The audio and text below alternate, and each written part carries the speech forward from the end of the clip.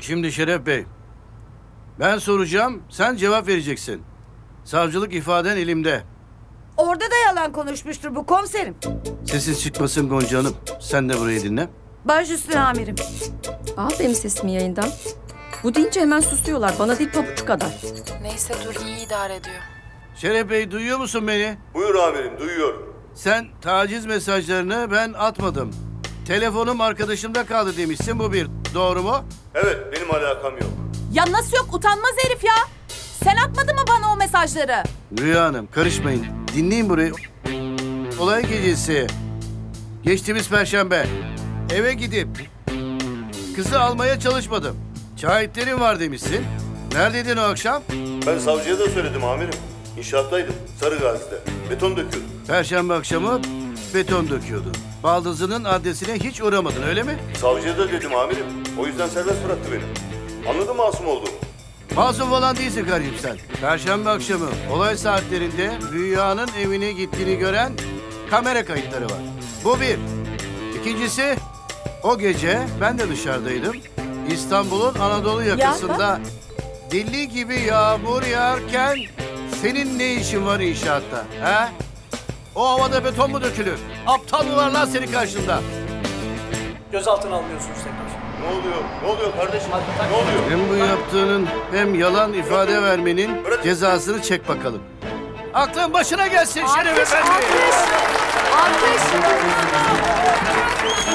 İşte görüyorsunuz amirimiz Hüsnü Çoban bir olayı daha canlı yayında çözüyor. Tebrik ederiz. Evet gördüğünüz gibi emniyet güçleri burada Şeref'i gözaltına aldı. Canlı yayında cezasını çekecek. Al bunu al al al al. Kestane balını yersin içeride bol bol. Şeref Efendi. Şeref.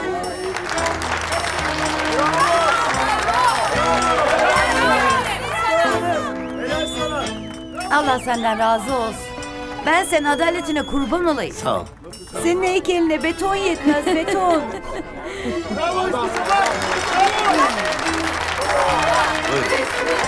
Ayol bütün ana haberlerdesin.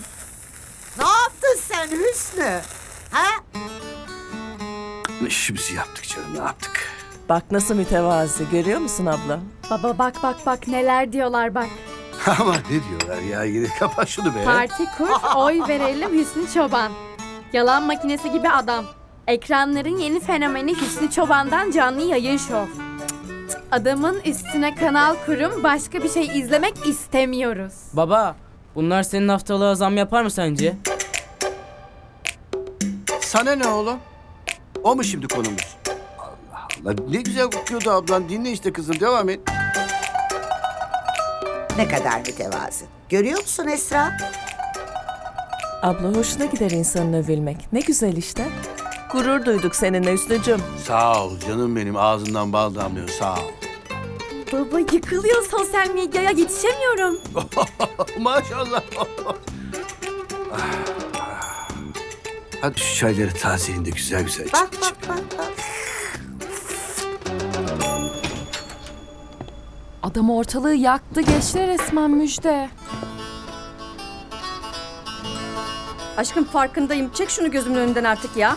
Kendi elimizle canavar mı yarattık ne yaptık anlamadım ki. Hani silikti bu herif? Hani ekrana yakışmıyordu? Dizi yapsa tutmazdı. Programı üzerine yapacaklar neredeyse. Kanal sahipleri bile tanışmak istiyorlar adamla. Ne yapacağım ben şimdi? Biraz bekleyelim. Gazı geçer herhalde ya. Hep böyle yüksekten uçacak değil ya Hüsnü Çoban. Öyle bir hırsı da yok yani adamın anladığım kadarıyla. Benim de canımı o sıkıyor zaten. Herif doğal star. Ne yapsa olay oluyor. Kademeleri vardı ya hani. Millet ağzına düşecek. Of! Tamam sakin ol. Hallederiz bir şekilde ya.